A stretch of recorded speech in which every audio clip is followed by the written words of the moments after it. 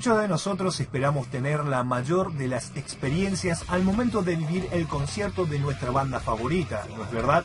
Ok, en ese marco esperamos que todo salga de maravillas y llevarnos un buen recuerdo por el resto de nuestras vidas. Pero hay ocasiones en las que es totalmente lo contrario y esa es nuestra cita en este video. A continuación veremos una lista de eventos desafortunados que sucedieron en conciertos de rock. Aclaramos que descartamos las opciones de accidentes a músicos que solo terminaron en una lesión. Sí, nos enfocaremos principalmente en grandes disturbios, muertes y lesiones graves a espectadores en los mismos. Dicha esta aclaración, comenzamos. 10 desgracias ocurridas en conciertos de rock, parte 1.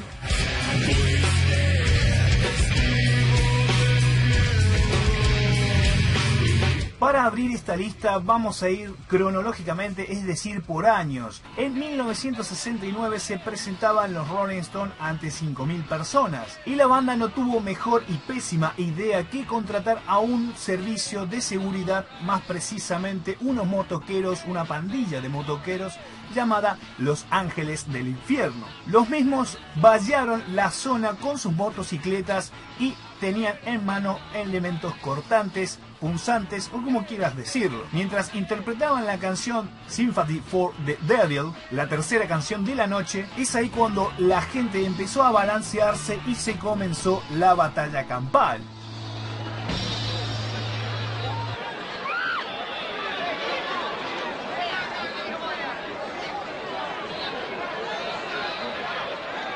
Esto lamentablemente terminó en cuatro muertes, un homicidio y tres muertes accidentales, dos por accidentes automovilísticos en la zona y un ahogado en un canal cercano. Claro que los Rolling Stones negaron totalmente la contratación de este servicio de los motoqueros.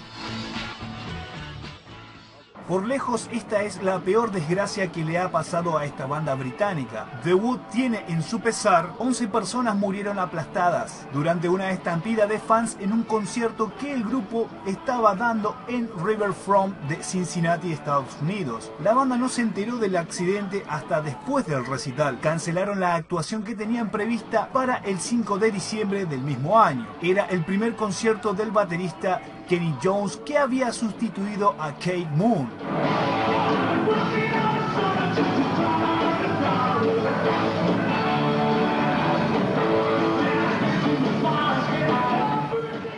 ...6 de septiembre de 1986... ...se llevaba a cabo un recital de Scorpion... ...y en esta ocasión un joven resultó muerto... ...y al menos otro herido en el concierto que dieron en el estadio El Rayo Vallecano en Madrid, España. Según confirmaron algunas fuentes policiales, el fallecido es Miguel Ángel Rojas del Castillo, de aquel entonces 20 años. Este muchacho murió a causa de una apuñalada en el corazón que le propinaron en una pelea en el Pogo. En este evento asistieron 16.000 personas. Según una versión, esta pelea comenzó por un incidente menor, una discusión que fue causada por una cerveza. Sí, así como lo hizo. Este joven le pidió a otro que dejara de beber de su botella y es ahí cuando empezó la discusión que terminó en desgracia. Y tras este suceso, 17 jóvenes de aquel entonces resultaron detenidos, luego los dejaron en libertad.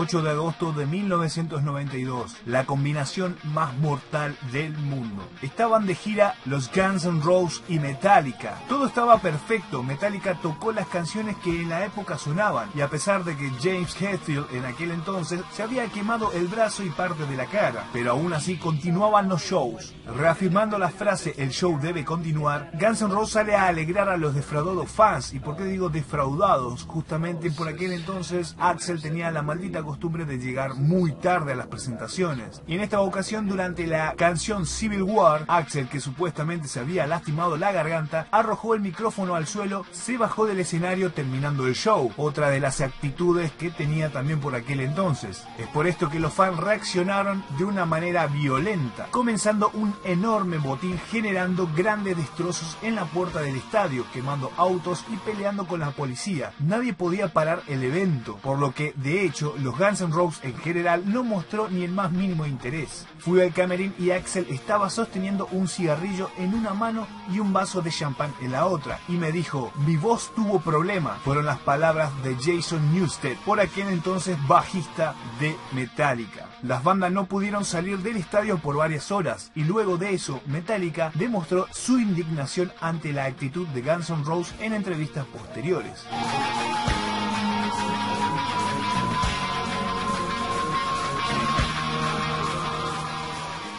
Seguimos en el mismo año 1992 y seguimos hablando de los Guns N' Roses, más precisamente el 9 de diciembre en Chile.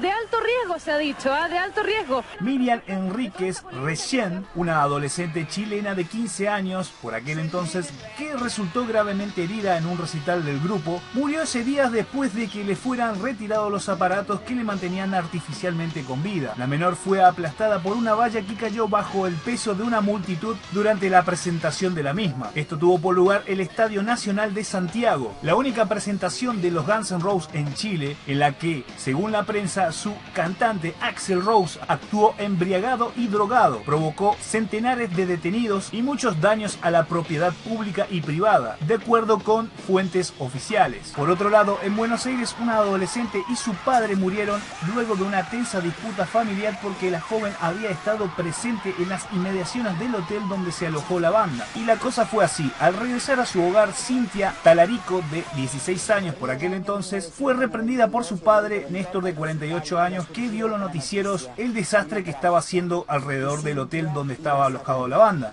¿Sos fana del grupo? Sí, lo ¿Qué son para vos? Lo más importante. ¿Como cuánto? El hombre prohibió a la chica asistir a los conciertos. Cintia se encerró en el baño de su vivienda y se propinó tres tiros. Uno en la mano, otro en el tórax y finalmente en la cabeza. Al ver esto, su padre tomó el arma y se disparó un tiro en la sien, obviamente muriendo en el acto. Menciono esto como un hecho relacionado, más no como un hecho netamente de un concierto. Es por esto y muchas otras cosas más que a los Guns N' Roses le llamaban la banda más peligrosa del mundo.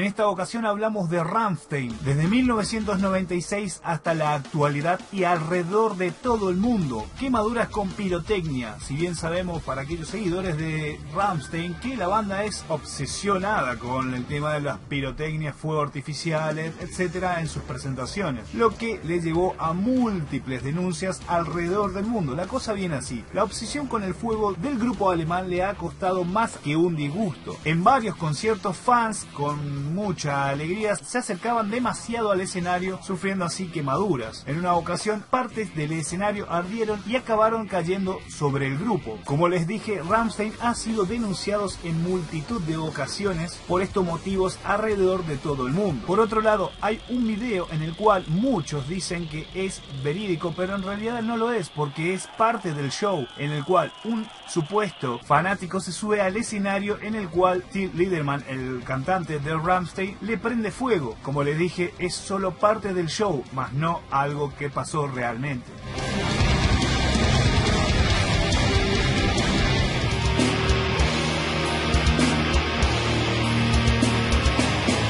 La banda Mayhem en Bergen, Noruega, en 1997. Si eres fan del black metal, tenés que saber que en los conciertos de Maiden y básicamente lo que es el black metal pesado, tienen por costumbres raras y en algunas ocasiones suelen salir un poco mal, como en esta ocasión. Esta banda de Noruega tiene por costumbre desmembrar animales muertos en los conciertos. Y en Bergen, en 1997, el cantante arrojó la cabeza del al público con tan mala suerte que acertó en la cabeza de un fan provocándole una herida del tamaño de un puño, o sea, le dejó un chichón bastante gigantesco, que por suerte no tuvimos que lamentar una víctima porque tranquilamente le pudo haber roto el cráneo, pero no fue así en esta ocasión. Sin embargo, lo siguen haciendo hasta hoy día como estás viendo en el video.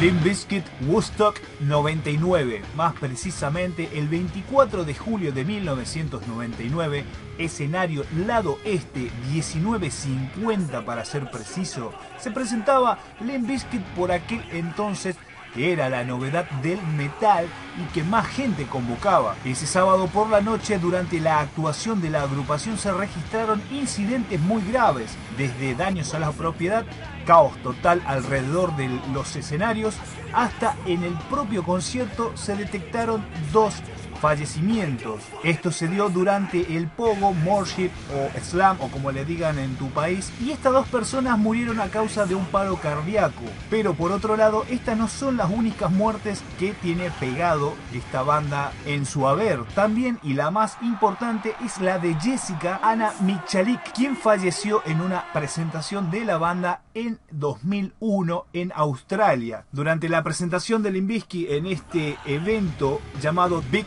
Day Out, la chica de 16 años por aquel entonces resultó asfixiada en el pogo por el aplastamiento de gente que se le vino encima. De igual manera, la banda quedó muy tocada con este tema y en presentaciones posteriores rindieron tributo en más de una ocasión a Jessica.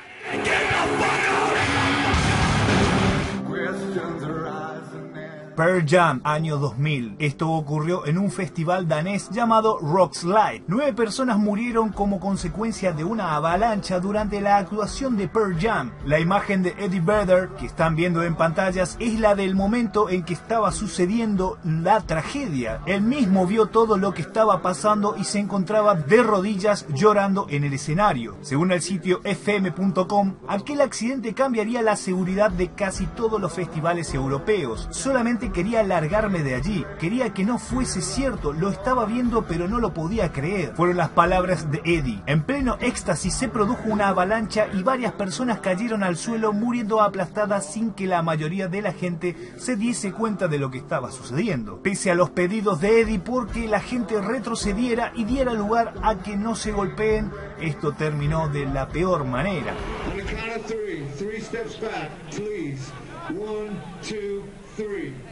One, take a step back. Two, take a step back. Three, please. Community Noble, turn on these houses. Det her er de afgørende øjeblikke. Año 2001. Recital de Patricio Rey y los Redonditos de Ricota. Jorge Felippi, un redondito santafesino de 31 años por aquel entonces, falleció antes de comenzar el show al caer desde una tribuna de, desde muy alta altura en el Estadio Olímpico. El recital, sin embargo, se concretó y resultó una fiesta de rock and roll para 40.000 personas según el sitio página12.com.ar. Esto, sin embargo, no es la única muerte que tiene pegada esta banda alrededor de su historia. Sus chicos son como bombas. El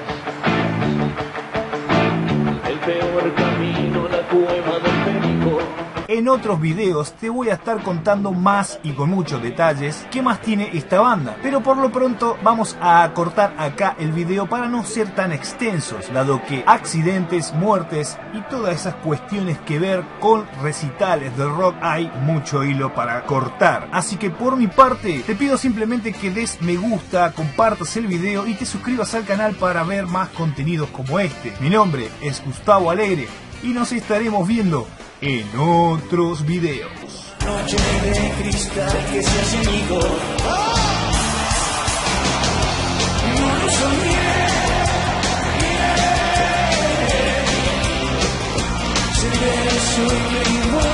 Suerte.